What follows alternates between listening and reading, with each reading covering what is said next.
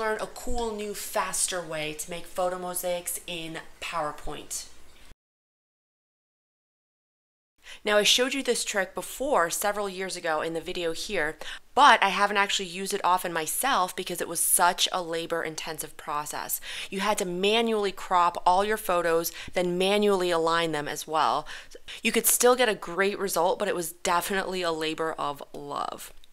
Then I was shown how to do this much, much faster by Taylor at Nuts and Bolts Speed Training, who I've been collaborating with for several years now, and who's a genius at finding time saving tricks in PowerPoint.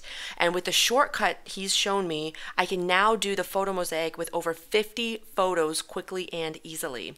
I've actually invited Taylor himself to jump in here now and demo this shortcut. Then I'll go ahead and finish the effect myself.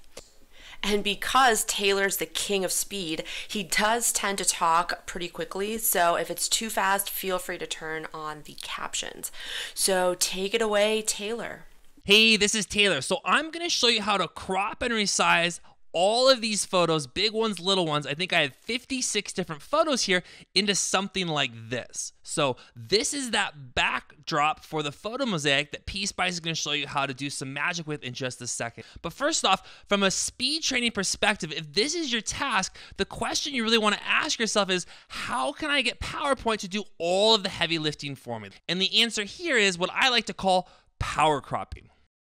So starting with a blank slide, I'll walk through this step by step. So insert tab, pictures. You're gonna navigate to wherever you have all the pictures on your computer. I have mine here. I'll hit Control A and select insert to bring in those 56 different photos. And again, you don't wanna start cropping and resizing these manually, all right? That's gonna take you forever. So instead, let me just zoom out, hit Control A to select all your photos navigate up to the Picture Tools Format tab, navigate to the Picture Layout dropdown, and watch what happens as I start to hover over these different Smart Art graphics. PowerPoint takes all of those photos, crops, resizes, and positions the photos for me.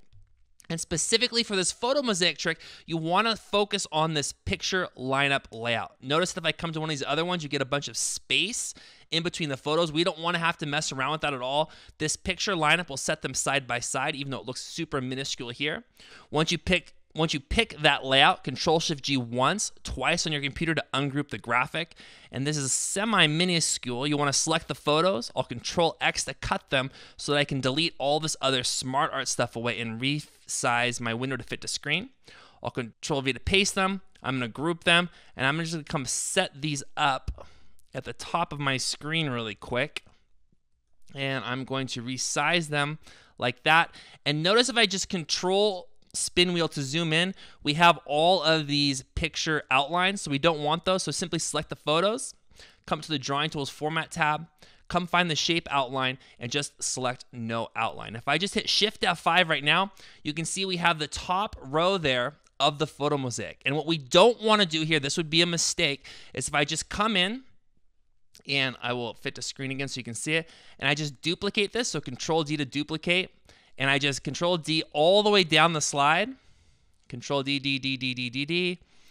Um, my computer's already starting to bog down because I now have what hundreds of photos on my screen. This is what you don't want to do, all right? This is kind of that photo mosaic trick, but you basically have a repeating pattern. So we want this to be randomized. So the question is, how do you make this randomized or not so apparent? And what you want to do instead is I'm going to delete all of these photos and I'm going to cut this and I'm going to control V to paste, open up the control spin wheel and paste it as a picture. This will make it much easier to work with um, for your slide. So the way we're going to randomize is what I call the Tetris technique and you're just going to take first off your line of photos and you're going to set that line of photos up right next to the first line of photos so it looks like this going across your slide and I'm going to group them. All you're going to do to randomize this is just Control D to duplicate and just start to spin this. PowerPoint will help you. All right, snap this. And I'll do a couple more for you and then I'll just speed this up. You're really just Tetrising this around just like the game. Tetris, Tetris, all the way down and I'll just speed up the screen. So this is what you're going to eventually end up with like that. We don't want to stop here, so I'm going to Control A to select all. I'll Control X to cut. I'll control V to paste. I'm again going to paste as picture, which will make it easier on our computer. You're going to get this photo of all of your little pieces. You're simply going to resize it so that it fits again on your slide to cover up all the white space. Like that. Picture Tools Format tab, crop. We're almost done. I'm just going to crop this photo down to our white slide space. Hit escape Shift F5 to double check my work, and boom, there's hundreds of randomized photos for you to use as the backdrop for your photo mosaic in a tenth or a twentieth of the time it would normally take you. And before I pass this along back to PSpice, if you want to learn a bunch more speed training tricks like this for working smarter in PowerPoint, check out the links below in the description box. Awesome, thanks. And yes, for more free tricks like this from Taylor, check out his free mini course that helps you save over 40 hours in PowerPoint. And of course, his YouTube channel, PowerPoint for Business Professionals, all listed in the links below.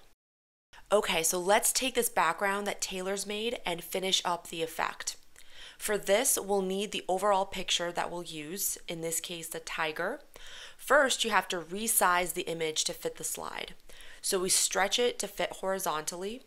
Then we go to format, crop, and crop it here like this. Now we put this off to the side.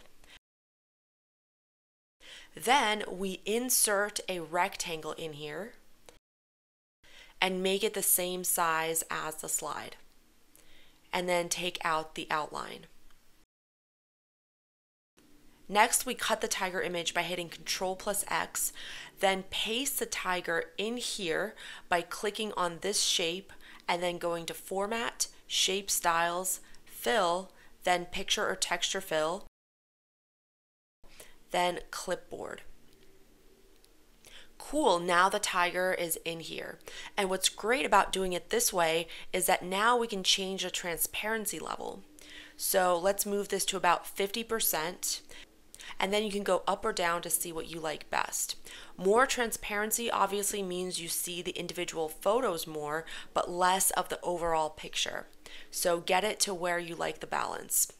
I did 45% for this one since I wanted the tiger to be pretty visible.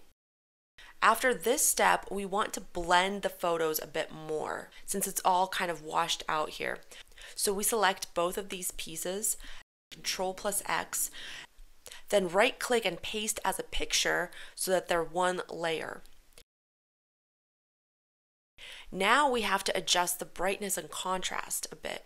So go to Format, Corrections, then scroll down to Picture Correction Options.